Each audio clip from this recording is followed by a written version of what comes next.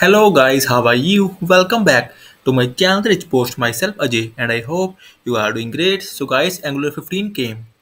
Now I also came with fresh e-commerce website, homepage template in Angular 15. So guys, before showing you working demo and code, I must say please post the video till the end and please subscribe my channel for latest Angular updates. So guys, first I will show you the latest version. See Angular 15 also files Angular 15 just great. You can see the beautiful e-commerce website homepage Angular 14 I'm very happy to see Angular 14 is a beautiful homepage that also I have shared in Angular 14 as well. Fully responsive.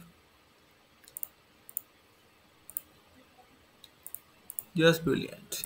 With mini cart here is my code Angular 15 very simple inside the main component all these header footer and home component.